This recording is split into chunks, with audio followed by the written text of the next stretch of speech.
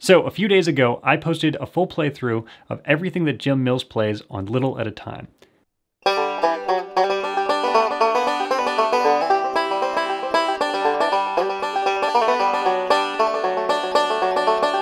I've already been getting questions from people asking if they should learn everything on the recording, or why I chose that recording in particular, or how they can use that information to incorporate into their own playing. And we're going to get into all of that, but first, do me a huge favor and subscribe to this channel and like this video. It's one of the things that makes these videos possible, and I really appreciate it. And I should also mention that if you want the tablature for this lesson and all of my lessons, then you can head to patreon.com slash Eli Gilbert Banjo. That's where I post tablature and bonus practice tips, live streams, all kinds of extra stuff that you can't find here on YouTube. Now, let's talk about why I would even want to learn something like this in the first place. The main reason is that if I want to become a bluegrass banjo player, then I really need to figure out what bluegrass banjo players do. So by learning everything that Jim Mills plays on this song, I'm leaving no stone unturned. I get to learn how he plays kickoffs and rolling backup and up the neck backup and vamping backup and even how he transitions between different sections. And once I learn all that, then I'm going to have a really clear picture of what my responsibilities are as a banjo player in a bluegrass band. People also asked why this song in particular and why this recording. And the first reason is that this is a really high quality recording and you can hear the banjo really clearly. Even though I had to slow down the recording a little bit just to be able to hear exactly which notes he was playing, the banjo is really clear in the mix. And that means that not only can you hear each individual note that's being played, you can also hear things like dynamics or rhythm, which arguably are as important as which notes to play if you want to be a really good bluegrass banjo player. And you're not going to hear this song that often on stage or at jam sessions, but that's okay because it has the exact same chord progression as a lot of other really common bluegrass songs, like Your Love is Like a Flower, for instance. So that means that everything that Jim plays on this song is directly applicable to those songs, or at least easily applicable to a lot of songs that include these chords, G, C, and D, which by the way is most bluegrass songs. And this is really the big picture when it comes to learning bluegrass banjo, or any genre. We're trying to use all the information that we learn in as many places as possible. We're trying to stretch that knowledge as far as we can. And that means that everything that I learned from this recording, I'm going to try to apply to other songs that I play. So now let's talk about specifically what I learned from this process and from this recording, and then let's talk about how you can incorporate this material into your playing. The first thing that you can pull from a recording like this, which doesn't actually require that you really learn any of the notes that Jim plays, is when to play certain types of backup. In this case, Jim uses rolling backup through almost the entire recording, with two exceptions. During the second verse, he plays up the neck backup, and during the mandolin break, he plays vamping backup. And that's a really common way to handle different styles of backup during a song, because during the second verse, you'll get a little bit of a variation, and then during the mandolin solo, you can get out of the way and not cover up what the mandolin's doing during their break. When it comes to the actual material that Jim's playing on this recording, the first thing that I noticed is that it's all pretty simple. That doesn't mean it's necessarily easy to play, but he's got a few phrases that he uses over and over again that gives the whole recording a really consistent and cohesive sound. For instance, in his rolling backup, when he goes from G to C, he plays these four licks.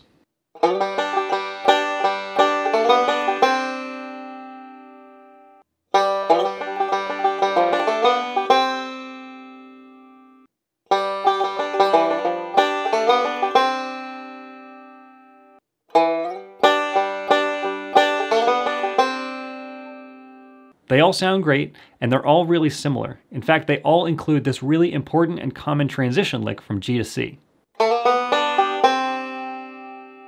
When he plays two measures of C, he only plays these two licks, and he only plays the second one once.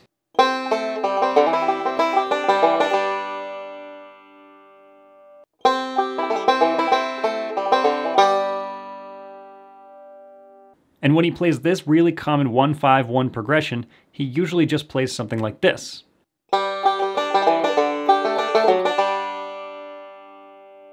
And occasionally he'll play a small variation like this.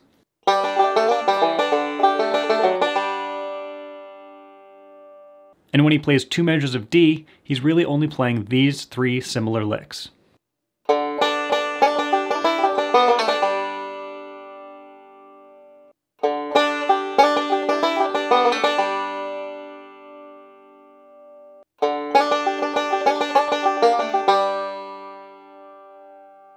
Then, during the second verse, he plays up the neck backup. And usually when we think about up the neck backup, we think about something like this.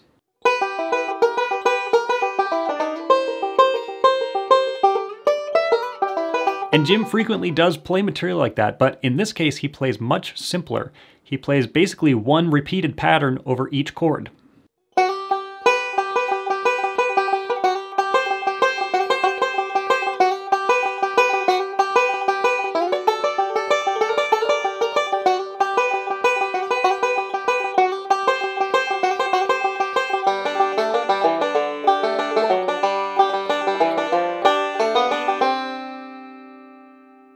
Then, when he vamps during the mandolin solo, again he keeps it simple and he only vamps on beats 2 and 4.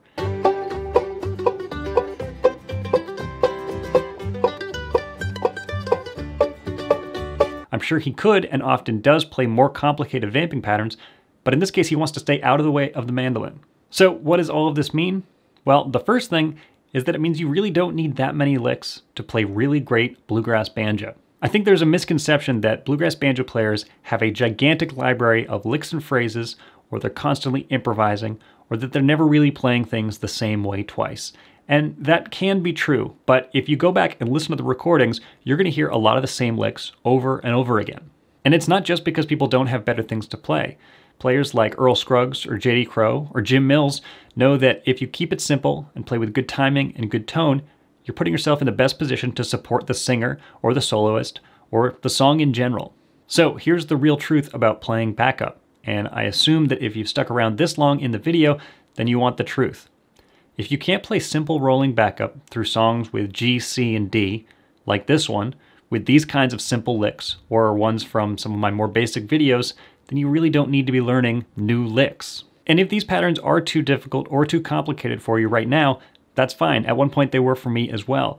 And if that's the case, then you're just going to want to check out some of my other basic backup lessons. But whether it's in those lessons or the material from this lesson, this is all you really need to play good backup on a song in G position, which is most of what we end up doing as banjo players. So I would say this I think you should prioritize a small amount of material and make sure that you can really play through a bunch of different songs using the same chords before you move on to play other more complicated licks that you might not actually get a chance to use all that often. So now we have some really great backup material, and the next step is going to be to apply it to other songs with different chord progressions. For instance, here's some backup on Rollin' My Sweet Baby's Arms using only material from this recording that we've rearranged to fit the new chord progression.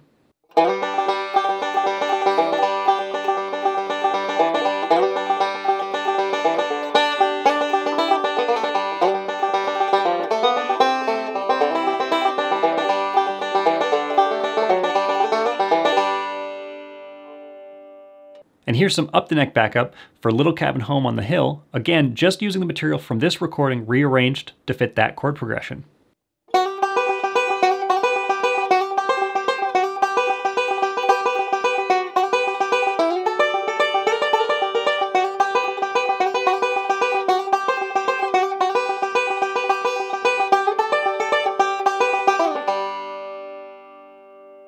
Think it's a good idea to learn these versions of these songs using this material, but it's really important that you do some of this yourself. Take some of the songs that you're learning or that you're already playing and apply this material. If you do that, then you're going to be able to make choices, otherwise known as improvisation.